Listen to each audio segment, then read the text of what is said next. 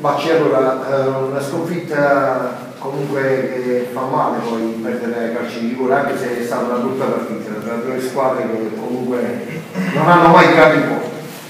Sì, infatti, eh, diciamo che è brutto perdere e è brutto perdere così soprattutto quando non fanno un tiro in porta e poi un rigore così e, insomma abbiamo perso male, ci dispiace tanto, siamo molto amareggiati, è molto. Che è successo con Scarpa nell'episodio del rigore? No, niente, ho cercato un po' di dargli un po' fastidio, diciamo, ecco, e poi niente, tutte cose che succedono in campo, niente di più. Ovviamente adesso il pensiero è sul campionato, che